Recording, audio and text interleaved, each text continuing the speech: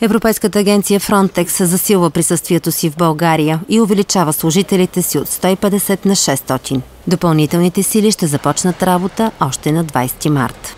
Във вчерашния ден получихме изключително висока оценка именно от изпълнителния директор на Frontex за постигнатите резултати по линия на нелегална миграция, като директно споделихме и цифрите, които в момента сме постигнали а именно постигнатия спад с близо от около 70% на броя на гражданите, които се опитват нелегално да преминат българо-турската граница, като това сравнение е направено с същия период за миналата година.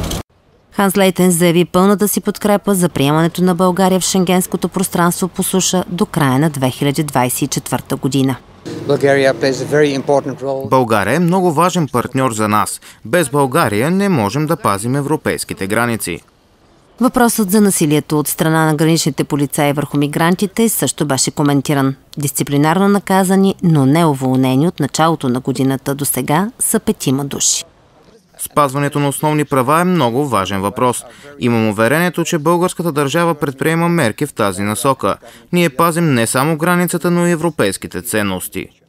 Лейтенс заяви още, че се прави постоянен мониторинг след всеки сигнал за насилие.